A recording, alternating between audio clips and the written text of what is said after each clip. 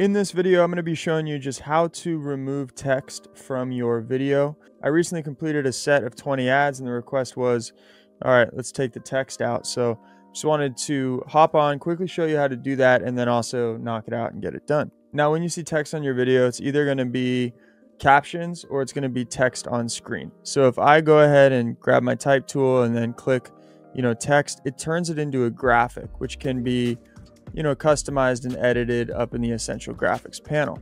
And that text shows up on top of your video layers in your timeline.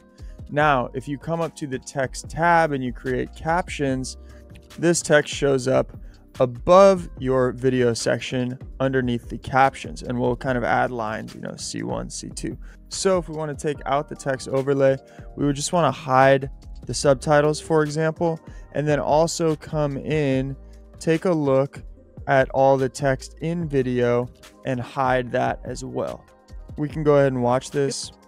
What are the best gym shorts money can buy? I'm looking to purchase a few pairs that will last me forever, fit well, and look great. You know, you know what? This is one of those things. I'll be honest with you. This is one of those things where I didn't know.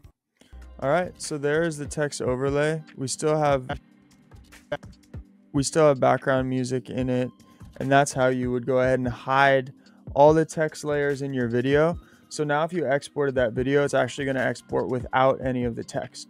Whatever you hide on the timeline is also going to be hidden during export. All right, so then to select that video, I'm just going to press O. It's going to drop a endpoint, which I can drag out to the end of this video. And then let's just go ahead, double check the start point. Yep, that's correct.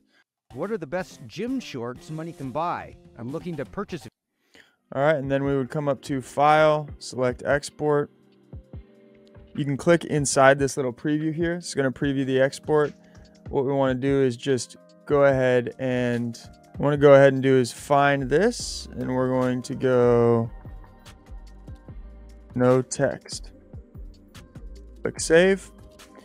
And we want to set our I'm going to set the preset to high quality 4K, come back to video, select match source, and then we're going to export this and bring the target bitrate down to 25. All right, so once this is done, we've officially just exported this video without any text. I'm gonna go ahead and do this for the other 22 ads. Hopefully this helped. If it didn't, drop a comment below. Let us know what you're struggling with.